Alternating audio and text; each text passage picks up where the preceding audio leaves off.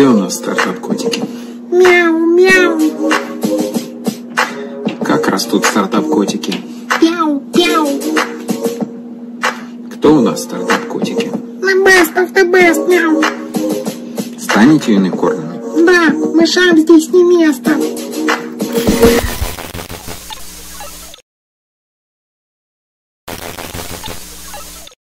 Здравствуйте, дорогие мои стартап-котики! Сегодня мы обсудим бизнес-модели и довольно парадоксальное утверждение о том, что с одной стороны компания должна основываться на бизнес-моделях, и второе парадоксальное утверждение о том, что бизнес-модель должна приходить в правильное время. Давайте начнем с первого. В компании, утверждаю я, должна быть бизнес-модель. Бизнес-моделей существует всего пять. Если вы придумаете шестую, вам как минимум грозит Нобелевская премия, как максимум может быть даже что-то куда более серьезное. Самая странная эзотерическая бизнес-модель – это модель гиперроста, когда компания растет с головокружительной красотой, с головокружительной красотой и с головокружительной быстротой. Это такие компании, как Instagram, YouTube, Hotmail, Skype, WhatsApp и еще длинный-предлинный список чудесных компаний. И эти компании показывают фантастический рост и не берут ни с кого никаких денег, и даже зачастую не зарабатывают на рекламе. Они идут к инвесторам, показывают инвесторам свой потрясающий прогресс и говорят, инвесторы, дайте нам денежек, мы будем расти дальше так же быстро и вырастя, очень вырастя, очень-очень-очень большими, мы кому-нибудь продадимся. Ну, относительно недавний пример такого, это компания Instagram, которой не было вообще никаких продаж, когда она стоила достаточно серьезных денег и стоит 200 миллионов. И когда они подняли э, довольно серьезную сумму у венчурных капиталистов для того, чтобы расти и развиваться, но никаким другим образом денег не зарабатывали и продались за такую приятную сумму, как миллиард долларов компании Facebook.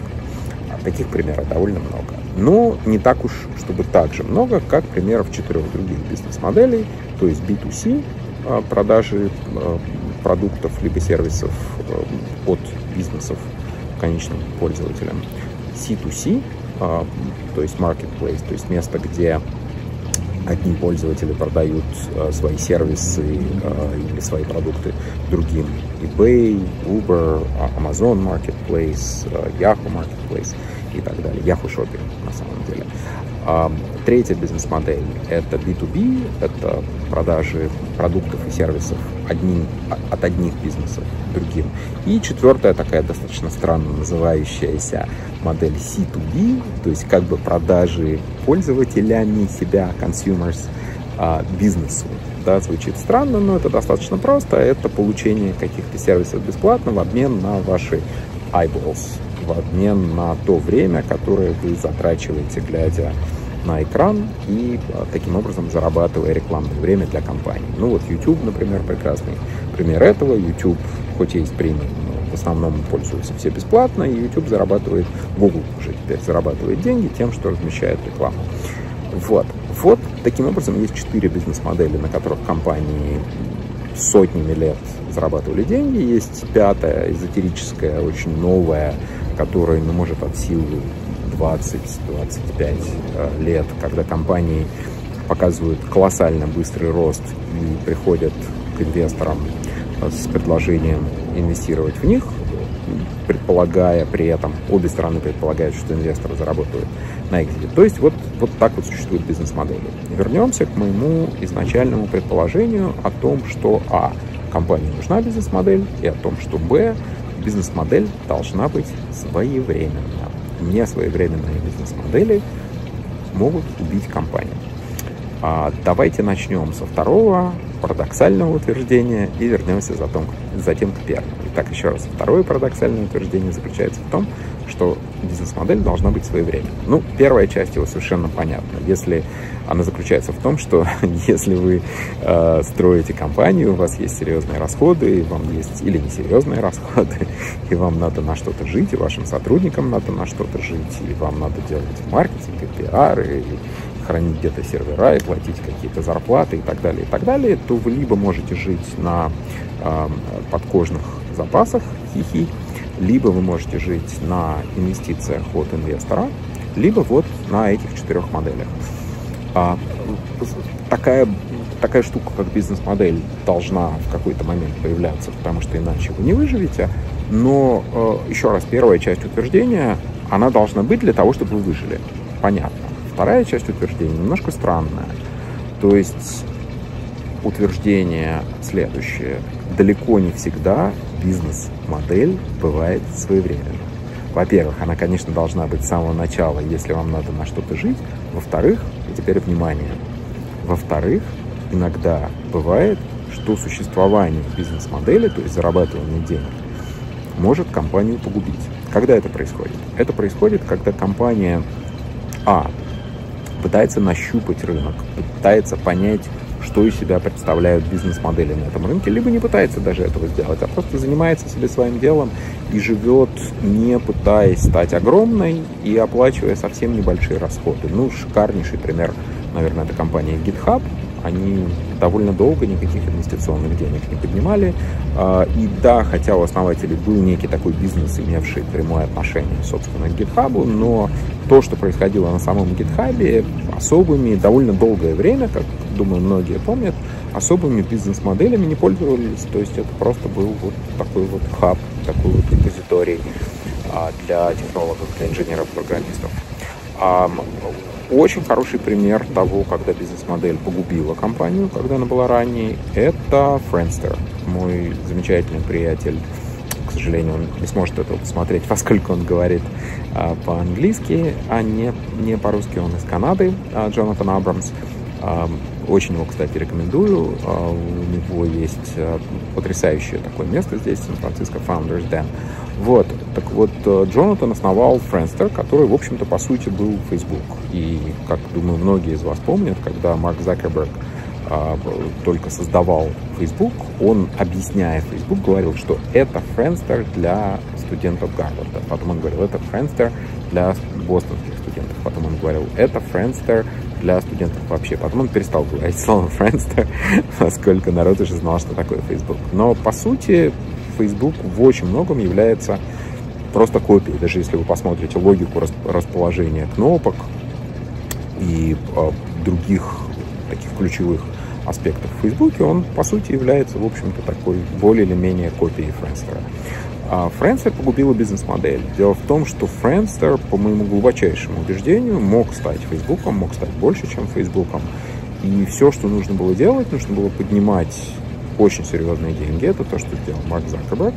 И расти, расти, расти, расти, расти. Дело в том, что бизнес-модель является страшным врагом гиперроста.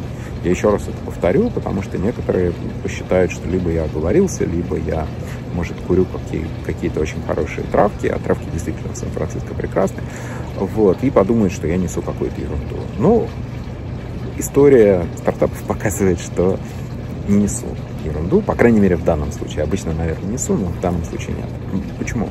А потому что, когда вы растете очень-очень быстро и начинаете думать о том, как зарабатывать денег, то у вас появляется несколько напряжений. Первое напряжение. Ваш главный KPI или один из главных KPI становится не рост во что бы то ни стало, а так или иначе заработок. Причем это не обязательно стратегия компании, но у вас есть селзы, друзья мои. А селзы или продавцы – это те люди, которые хотят зарабатывать на продажах. И они молодцы, что они это делают.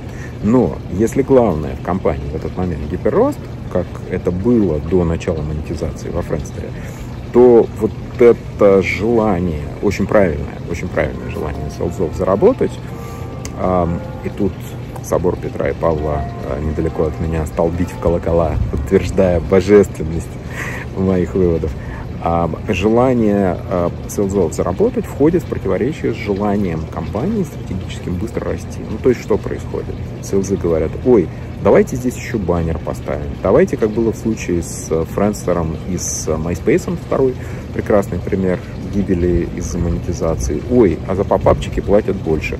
Ой, а за Media Rectangle, если кто знает, это такой здоровенный, здоровенный баннер, платят больше. Ой, а за медийные баннеры платят больше. Ой, а за баннер, который вклинивается в видео, платят больше.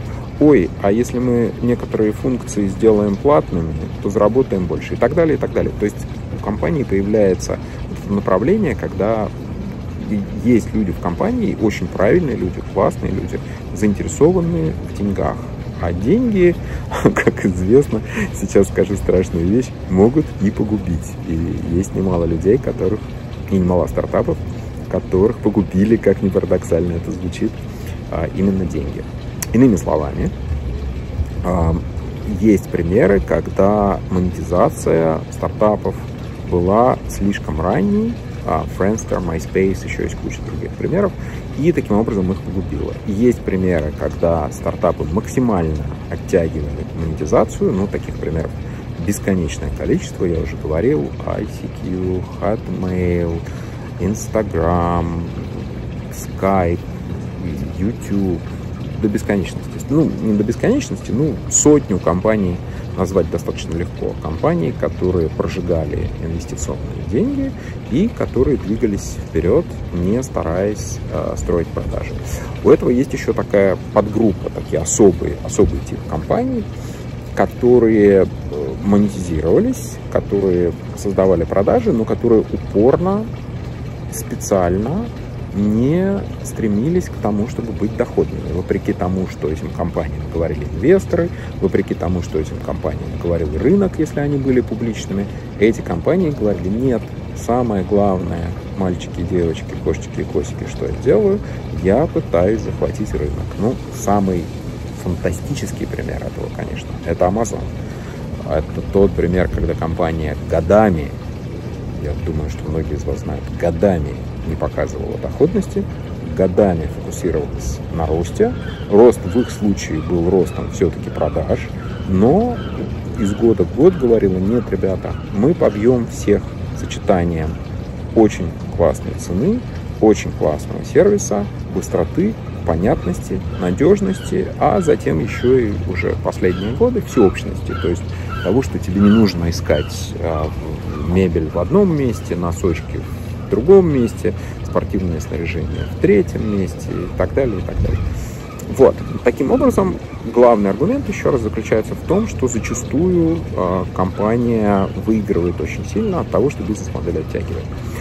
Еще один очень интересный довод и в какой-то мере соображение заключается в том, что когда вы строите нечто уникальное, которое никто еще не строил, вы не совсем знаете, а, какой будет market fit. Я не знаю, как это сказать по-русски, но это фраза, которую точно нужно знать по-английски. То есть насколько рынок вот, вот таким образом правильно кликнет, да, правильно чик и сцепится с тем, что делаете вы. А, нужны ли, иными словами, нужны ли вы клиентам, готовы ли они вами пользоваться, будут ли они вас рекомендовать, Будет ли то, что вы э, продаете, куплено, когда вы начнете это продавать, если вы не продаете и так далее.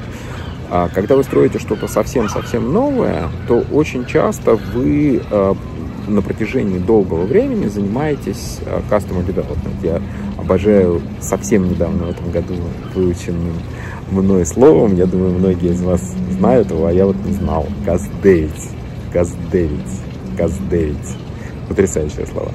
Вот. А, так вот, по сути, компания, которая способна, если она может выжить, сейчас мы перейдем к первой части марлезонского балета, если компания может выжить, ключевое, ключевое, если компания может выжить и может себе позволить долгое время, месяцами, а то и годами, ребят, ну, не обязательно 10-20 лет, может, там год, два, три, заниматься этим самым customer development и расти в плане пользователей, в плане продуктов, в плане э, сервисов, которые она представляет, такая компания, если она выживет и вырастет, вау, ребята, будет очень-очень сильной. Просто очень сильной. Ну и в каком-то смысле стартап-котики, которые мы строим, в общем-то, я надеюсь, являются такой компанией. Я уверен, что если у нас что-то получится, то мы все равно никогда ни, ни копейки ни с каких бизнесов брать не, не будем. Но ужасно интересно, чтобы вот стартап-котики выросли в такую вот огромную, классную, интересную, здоровскую платформу, где стартапчикам всячески помогают, стартапчики, инвесторы и другие хорошие, замечательные люди, стартап-котики. Вот. А, ну, собственно, вот это то, что я хотел сказать о второй части марлезонского балета.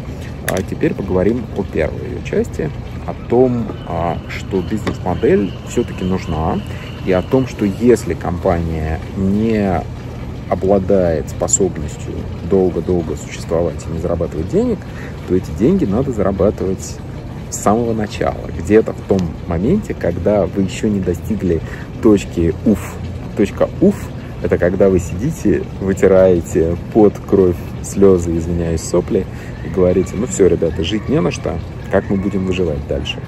Вот этой точки нужно избежать, и вместо того, чтобы доживать до точки уф и потом думать, боже, что же теперь делать, нужно продумывать довольно рано. Сейчас я противоречу второму, что я сказал. Нужно продумывать бизнес-модели, нужно начинать с того, что когда вы начинаете бизнес, вы думаете о бизнес-модели. Еще раз, я надеюсь, что я вас в конец запутал, но еще раз. Первое. Для того, чтобы выжить, компании нужна бизнес-модель поскольку люди просто должны что-то есть, где-то жить, одеваться во что-то, э, на чем-то передвигаться и так далее. Но второе, как ни странно, существование бизнес-моделей, то есть при, преобразование ваших сервисов так или иначе в деньги, может также стать и часто становится огромным препятствием на пути к тому, чтобы стать действительно огромными, действительно могучими и так далее. Как это противоречие разрешить? Вот теперь самое-самое главное в моем длинном-длинном эпизоде а, с очень парадоксальными утверждениями. Как это противоречие разрешить? Первое. Когда вы начинаете стартап, самого начала нужно думать о бизнес-модели, то есть о том, как вы будете зарабатывать деньги.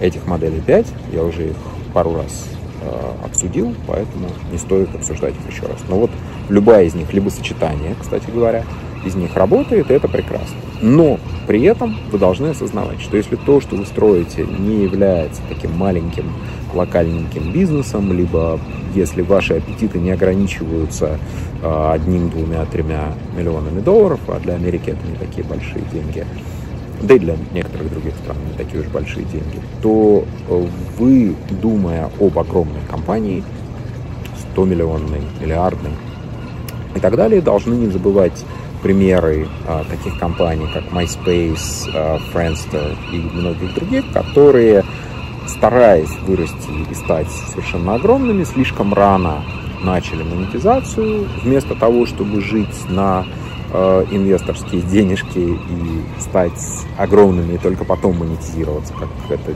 делали очень многие другие очень успешные компании. А, вот. Так вот, для всех случаев, когда вы хотите вырасти и стать очень-очень большими, бизнес-модель на относительно раннем или совсем раннем этапе может вас погубить, поскольку смысл существования компании немножко переместится, и э, чудесные, замечательные люди, включая, я думаю, многих э, сооснователей, которых называют селзами или продажниками, люди, занимающиеся, собственно, продажами, будут заниматься тем, чтобы растить продажи. А это, хотите вы или нет, за редчайшими исключениями, ну, такие как eBay, например, да, а, вступает в прямое противоречие с задачей роста. Вот, собственно, то, что я хотел вам сказать. Итак, подводя итоги, бизнес-модель компании необходима, а бизнес-моделей существует 5, и шестую никто не изобрел. Если вы изобретете, срочно пишите мне, я буду рад э, с вами ее обсудить. И самое последнее и очень важное, а, бизнес-модель для компании, которая собирается стать совершенно огромной, может войти в противоречие с задачей очень быстрого роста. Поэтому стоит дважды, трижды подумать, не слишком ли рано вы начинаете бизнес-модель, если то, что вы собираетесь делать, является э, таким гиперрастущим, не монетизирующимся э, сайтом, приложением, сервисом, продуктом и так далее. Всем спасибо, мои дорогие стартап-котики. И закончу а, тем, а, о, о чем многие мне напоминают, а, чмоками в этой версии Multiverse и пожеланием здоровья и счастья. Всем спасибо.